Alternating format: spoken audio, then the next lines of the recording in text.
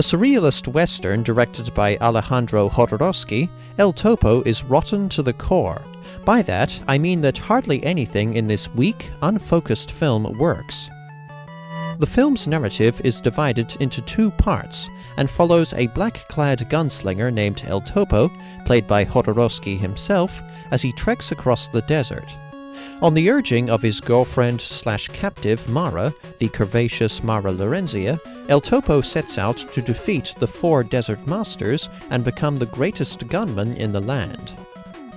I was prepared to go along for the bizarre ride. So what if the characters are barely characterized? Jodorowsky has a commanding presence, and the film sets up a dramatic goal for him to follow. The film's first half presents itself as a weirdly compelling parable on how ambition can corrupt us. And since El Topo is a gun wielding hero fighting enemies with distinct powers, El Topo kinda feels like a Mega Man game on shrooms. A film that doesn't make sense from a real life perspective can still make sense on its own terms. Take Eraserhead and Un Chien Andalou, for instance. But El Topo's main problem is that it doesn't make sense within its own crazy internal logic. Each gunmaster apparently represents a different religion or ideology, but their character designs are too esoteric for me to tell what philosophy they supposedly embody. Their insights feel contrived or even nonsensical, and their defeat at the hands of El Topo aside from a very cool, cunning act of trickery against the second master, feels like a cop out.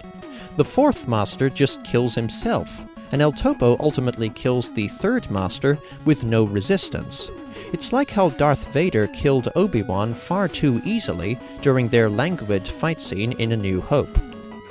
More importantly, Mara tells El Topo that she does not love him, but will love him if he defeats the Gunmasters.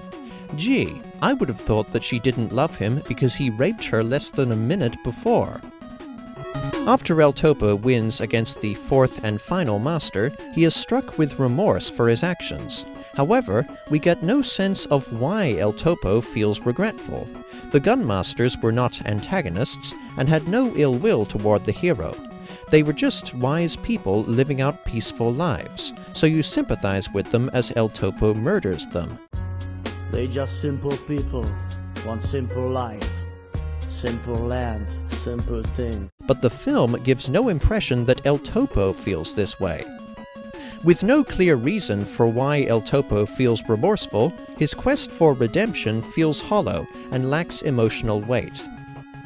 Aside from El Topo's son returning as a grown man, the film largely discards the Gunmaster's plot thread, much like how Mulholland Drive effectively retcons itself by the final third. Since the narrative's second half, with its blocked up cave of deformed people and a town of depraved, rowdy cultists, makes only scant references to the gunslinging first half, there is little sense that El Topo is helping the deformed people to atone for his past deeds. Since El Topo seems to be acting as their savior for their sake, in and of itself, the film's first half feels pointless in hindsight. Besides, why would El Topo dig an escape route for the deformed people that leads to the town that ostracized and entrapped them in the first place? That plan makes no sense. And if the cave the deformed people live in was sealed up for all this time, then how did they get El Topo there? And I was really puzzled by the omnipresent Freemason symbols in the cultists' town.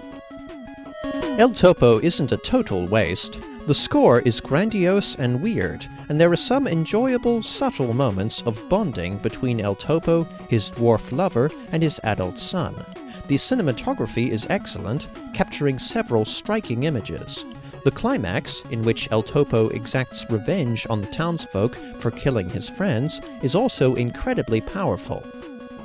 By the way, I have to point this out.